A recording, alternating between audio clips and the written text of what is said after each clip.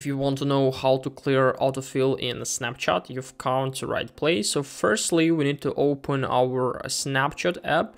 And from this page here, just simply open our profile page. So clearing autofill could be really helpful if you want to like clear some data and we want to store it on our iPhone or Android, doesn't matter. And in order to do it, we just simply need to open our settings here in the right top corner, then scroll down to find the privacy controls area. And here we need to find clear data, the first line in this like area here. So click on it.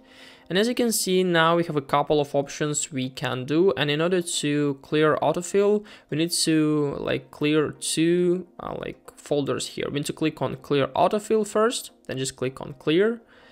And after that, I recommend you to click on clear cache.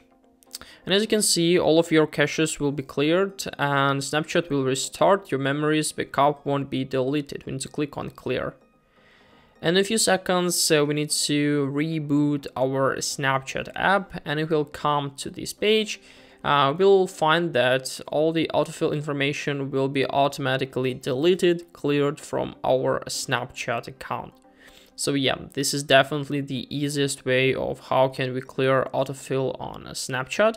Hope this video helped you out, leave a like, subscribe and goodbye.